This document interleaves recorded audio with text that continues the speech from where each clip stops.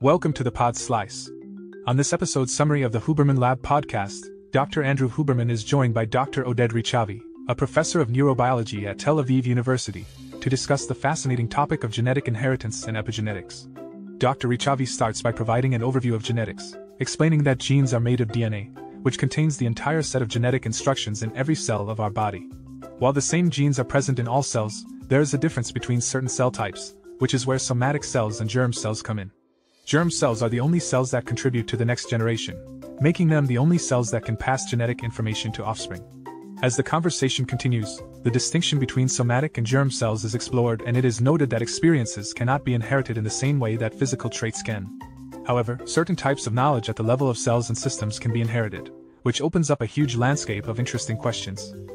The discussion then shifts to epigenetics, which refers to the changes in gene expression that are not caused by changes in the DNA sequence, but rather by chemical modifications. These modifications can lead to differences in gene expression between identical twins who are raised in different environments. The theoretical problems of the inheritance of acquired traits are also discussed, including the Weismann and epigenetic barriers, along with examples of how the environment can affect an organism's traits through epigenetics, such as the effects of starvation and hardship on the next generation. They then delve into the topic of model organisms, such as worms, and their importance in studying basic functions in cells. Dr. Huberman explains that model organisms have been critical in informing our understanding of human health and biology, and that the nematode C. elegans is a particularly important model organism due to its transparency, short generation time, and well mapped neural connections. In a different segment, the conversation turns to the groundbreaking discovery of RNA interference, or RNAi, and its mechanisms that use small RNA molecules to regulate gene expression by silencing specific genes.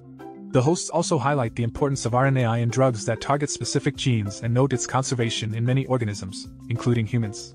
The discussion then shifts to the experiments on C. elegans worms that demonstrated the transmission of RNA based resistance to viruses to subsequent generations.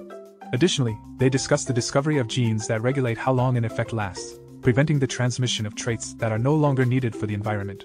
The podcast then explores the complex mechanisms of epigenetic inheritance, particularly in relation to the lifespan of an organism. They use C. elegans worms as an example, noting their ability to inherit adaptive traits for 3 to 5 generations. The difficulties of translating synaptic information into heritable molecular form are also discussed, along with the potential implications of this finding for human health and disease. In another segment, Dr. Huberman and Dr. Rechavi discuss the concept of disgust, particularly in relation to the practice of incest. They explain how some communities, such as Israeli kibbutzim and populations in Scandinavian countries, limit mating within close family members to avoid inbreeding, and keep meticulous records of lineage. The conversation then turns to the study of C. elegans, a type of worm that exhibits interesting mating behavior in response to stress. Dr. Rechavi explains that the worm's pheromone secretion is not a conscious decision, but rather a biasing of probabilities.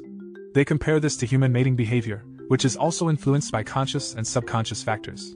The discussion then turns to the topic of autism and the higher likelihood of having a child with autism in older fathers due to DNA damage and the accumulation of mutations in the germ cells over time. Dr. Rechavi, who discusses his research on genetics, inheritance, and memory in C. elegans. Dr. Rechavi found that when the worms were placed on ice after learning a specific association, they did not forget for up to 24 hours. This led to an investigation of the internal state of the worms and the genetic changes that occur during cold tolerance.